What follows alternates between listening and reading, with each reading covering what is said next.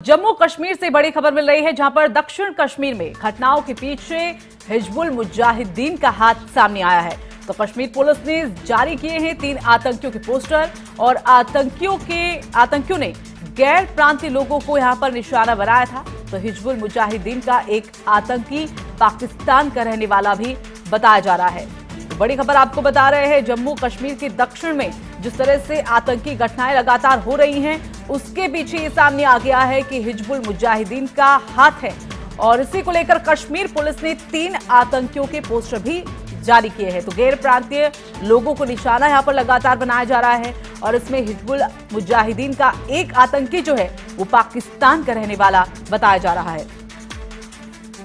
तो लगातार जैसी जानकारी मिल रही है कि आर्टिकल 370 के बाद लगातार आतंकी जम्मू कश्मीर में घुसपैठ की कोशिश कर रहे हैं और इसके बाद भारत के तमाम राज्यों में आतंकी गतिविधियों को कोशिश, उनको अंजाम देने की कोशिश यहाँ पर की जा रही है।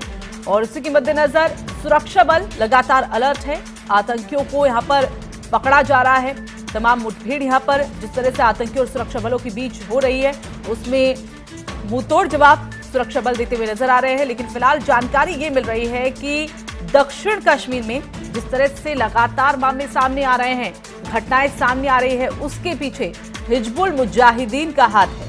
तो कश्मीर पुलिस ने तीन आतंकियों के इसको लेकर पोस्टर भी जारी कर दिए गए हैं। इसके साथ हिजबुल आतंकियों ने गैर प्रांतियों को निशाना बनाया था और ये बात सामने आ गई है कि इस घटना में हिजबुल मुजाहिदीन का हाथ था। जो तीन पोस्टर यहाँ पर कश्मीर पुलिस के ज़रिए जारी किए गए हैं, उनमें से एक आतंकी बताया जा रहा है कि वो पाकिस्तान का रहने वाला है। लगातार अपडेट इस पर मिलती जा रही है, सुरक्षा बल भी अलर्ट है। घुसपैठ को रोकने की कोशिश यहाँ पर लगातार सुरक्षा बल करते हुए नज़र आ रहे हैं। लेकिन बड़ा अपडेट आपको बता दें जिस तरह से दक्षिण कश्मीर में लगातार मामले सामने आ रहे हैं, घटनाएँ सामने आ रही है। प्रांतीय लोगों को जिस तरह से निशाना यहाँ पर बनाया जा रहा है, उसमें हिजबुल मुजाहिदीन का हाथ बताया जा रहा है। तीन आतंकियों के पोस्टर हालाँकि इसको लेकर जारी कर दिए गए हैं, जिनमें से एक आतंकी पाकिस्तान का रहने वाला है। तो तस्वीरें भी लगातार आपको दिखा रहे हैं। उन तीन आतंकियों की, जिनके पोस्टर कश्मीर पुलिस के ज़रिए जारी किए गए हैं।